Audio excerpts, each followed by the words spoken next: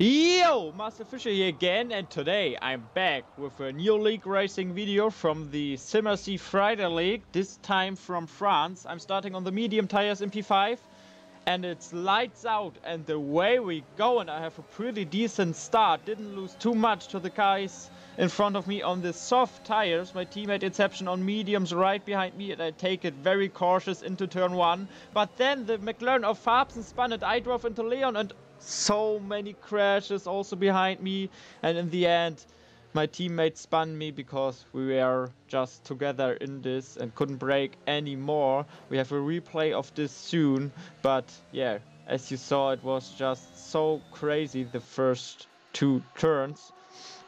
You can see now that the McLaren behind Fabsen braked and then I gone into him because I couldn't brake in time anymore. And so many cars behind gone into us as well. And also my teammate who was wedged into me and couldn't do anything. But luckily there, there was a safety car so I can go into the pits and get a new front wing on my car.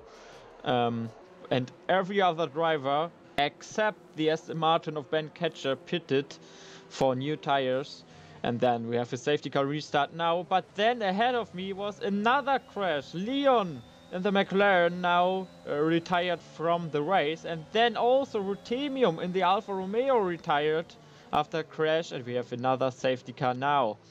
The restart here at lap 7. And this time, I know, just take it cautious. You don't have to rush. I know that I I am a bit faster than the guys in front of me now. And also Adlerholic now made a mistake in turn 2. So Fabsen uh, passed him and now I as well into turn 3. At the same lap into turn 11, Fabsen leaves a gap for me open. So I go down the inside into turn 11. We are still side by side going to turn 12. Now through turn 12, still side by side. But then I had a big oversteer moment, have to correct it. But then the Ferrari of Pleon was very slow. So I also overtake him as well. So I'm in back in P5 now.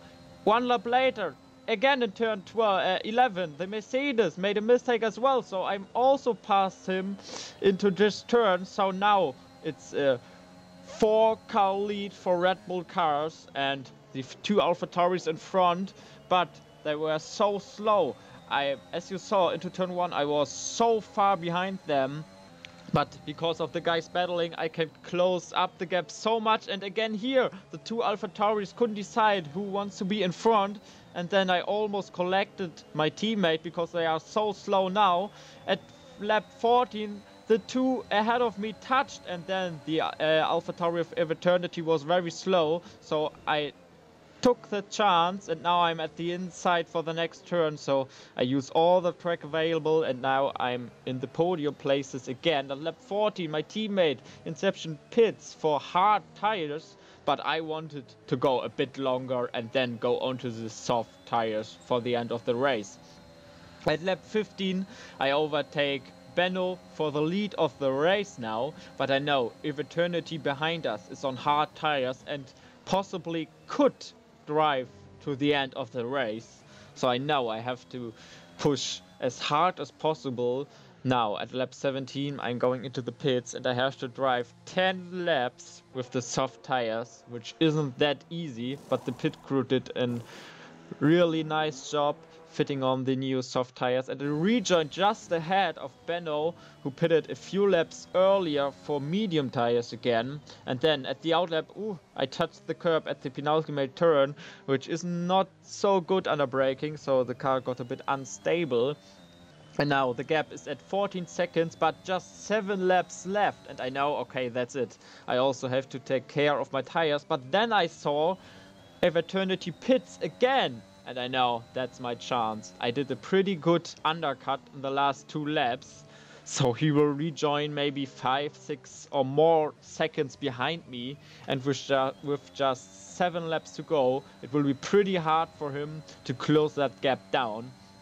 But I also have to take care of my tires because 10 laps on the softs at a 50% race is not that easy and he, re he rejoined in P5 behind my teammate which is pretty good because I know he wouldn't make uh, his life that easy and then at the last lap of the race now. The gap to him behind is 1.8 seconds. In the end, I had 74% on my tires. Now, I won the feature race. That means I will start the sprint race in P8 and together with my teammate, we decided to start on the soft tires with most of the other guys starting on medium. So we have a pretty good run to turn one and I take the outside line, which is the inside line for turn two, made up a couple of positions already now.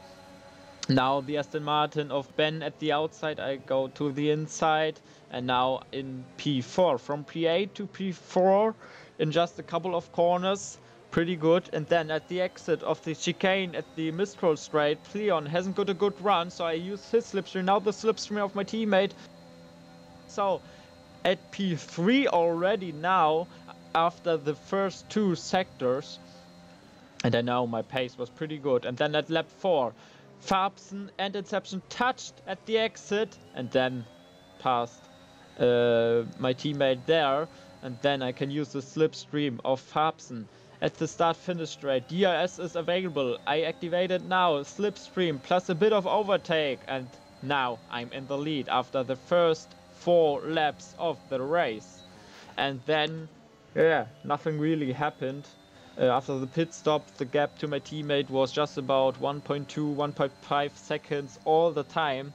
And I didn't let him into my DRS because DRS is so powerful in this game and especially at this track and then lap 13 I won also the sprint race which means almost maximum points um, from this weekend I just uh, didn't got the two points for fastest lap but all in all pretty good weekend won both races as you can see here now um, I'm in the lead in the drivers championship by 82 points and I won the seven of the 14 races so far of the season and also in the Constructors' Championship.